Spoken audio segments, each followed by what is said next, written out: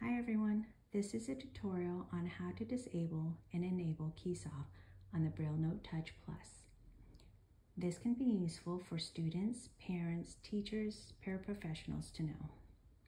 There might be times when a sighted user need to navigate to something on the screen, read something on the screen, troubleshoot a task, help find a document, or um, look for a file, and so on.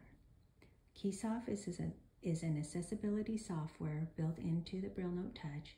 It is enabled when the device is turned on automatically and this gives you speech and Braille output which makes the Touch a fully accessible Braille tablet. We'll go ahead and see um, if it's on. Bottom. As you can um, hear, uh, the audio is on.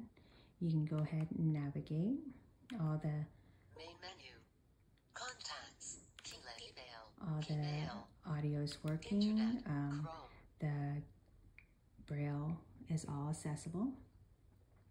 We are gonna uh, turn off the KeySoft. To do so, you press the up and down volume buttons at the same time. When the BrailleNote Touch Plus is laying in front of you, like so, uh, the volume buttons are gonna are located on the left side below the power button, right here. We're going to press the two buttons together and you will hear it say KeySoft off. off. It may take a few seconds, but it is off now. Um, when the KeySoft is disabled, there will be no speech or Braille feedback and the Braille keyboard and Braille display cannot be used. As you can hear there, you don't, you don't hear anything and none of the Braille um, is working. With KeySoft off, the BrailleNote Touch Plus becomes a regular Android tablet.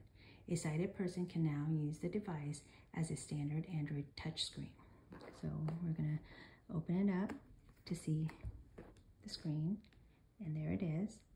From here, you can go ahead and use it as you would a tablet um, to scroll, uh, to go down a page, um, to go down the page or navigate, you just use one finger and you swipe up.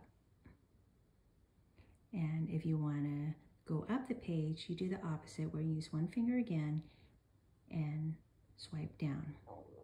From here, you can also open um, any apps, find a file, a document, um, anything you want to open.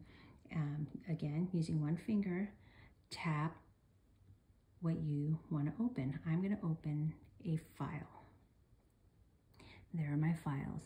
Now I'm going to open um, a document uh, that I was working on.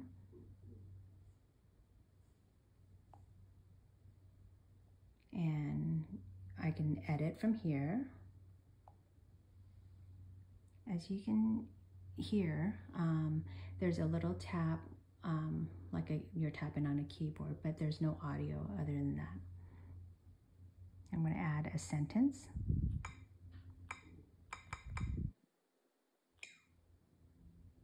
Um, once I'm done, I can go ahead and save it and exit out of it. To go back to the main menu, I can press the circle button that is on the bottom of the device, and that brings me back to my main menu. Um, if I want to see what app is open, I can go ahead and press the square button on the bottom of the device next to the circle button. And again, if I want to open up something that is um, available here that I want to see, I just go ahead and tap it. And there it is. Now, to enable and turn KeySoft on again, you're going to press the volume buttons at the same time as you did when you disabled KeySoft. I'm going to go ahead and press both volume buttons at the same time um, until you hear KeySoft on.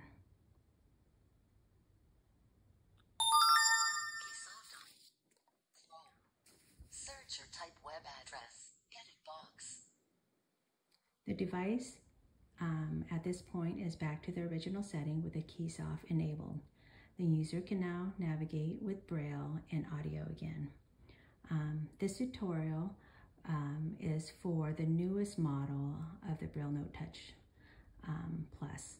So if a student has an older model, um, the command might be slightly different, um, so you'll have to check on that. Um, I thank you for your time. Have a good day.